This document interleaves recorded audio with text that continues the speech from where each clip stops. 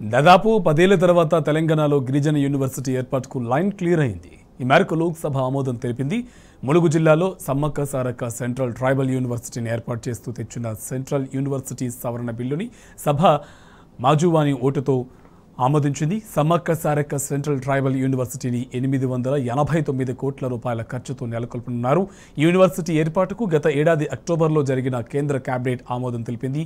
AP పునర్వ్యవస్థీకరణ చట్టం రెండు వేల పద్నాలుగు సెక్షన్ తొంభై నాలుగు షెడ్యూల్ పదమూడు మూడు ప్రకారం యూనివర్సిటీని నెలకొల్పనున్నారు.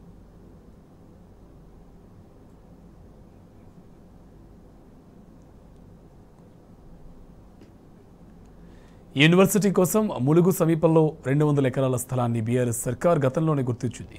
యూనివర్సిటీ కోసం గత బీఆర్ఎస్ ప్రభుత్వం తొమ్మిదేళ్ళ పాటు కేంద్రంపై ఎడతెగని పోరాటం చేసింది. బీఆర్ఎస్ అధినేత కేసీఆర్ స్వయంగా కేంద్రానికి పలుమార్లు విజ్ఞప్తి చేయడంతో పాటు ప్రధాని మోదీని కలిసి వినతపత్రం కూడా అందజేశారు.